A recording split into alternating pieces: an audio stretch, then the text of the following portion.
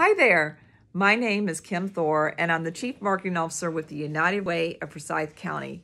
I'm very, very excited to be with you today because I get to read one of my favorite books.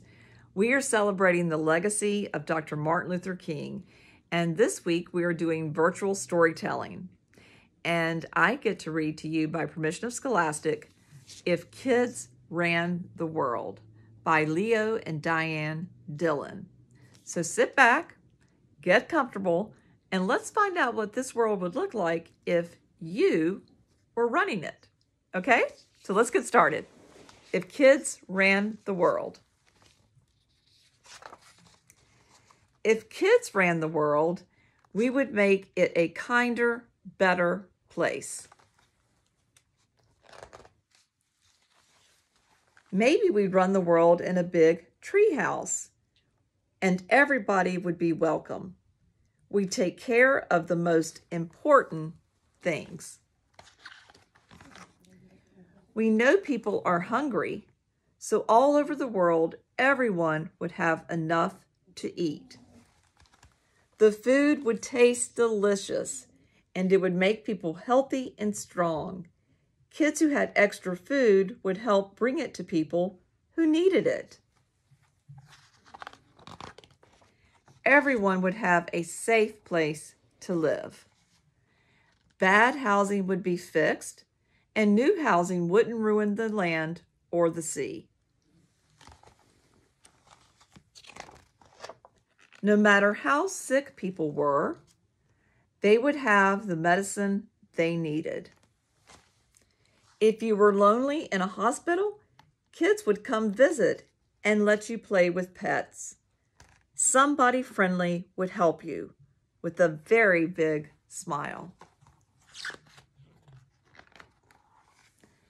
Everyone would laugh a lot more.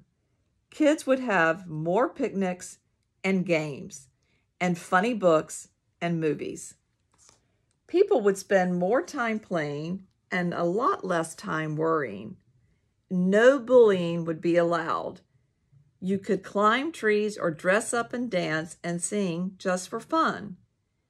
Kids could act very silly.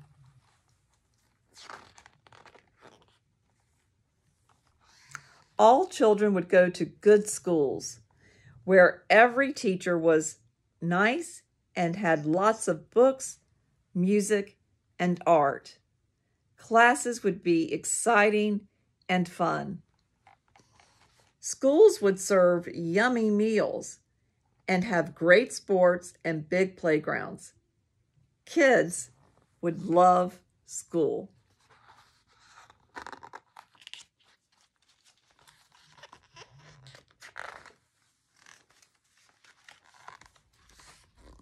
People could wear any kind of clothes and no one would tease them. Children would all live with people who loved them.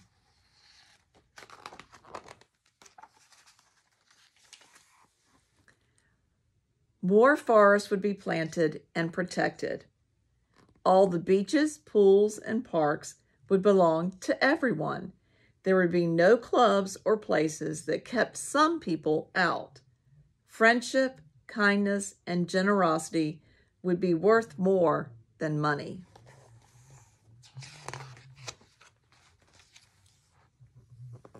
People would take care of the planet and animals and plants.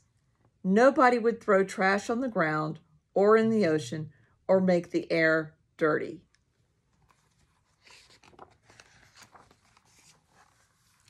People would have religious freedom and nobody would punish them or call them names. Everyone would learn the happiness of being thankful.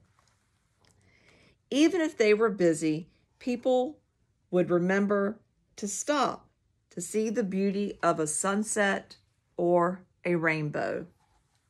All over the world, people would, would feel safe with one another. People would live in peace together. No more hate. Everybody would learn how to forgive.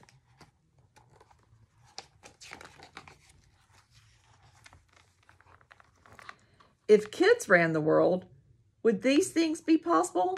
Yes, we think so. Because kids know that everyone can learn to share. Kids know how to try to do their very best.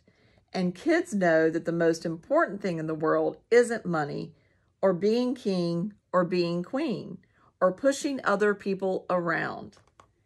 It's love. Giving it, sharing it, and showing it.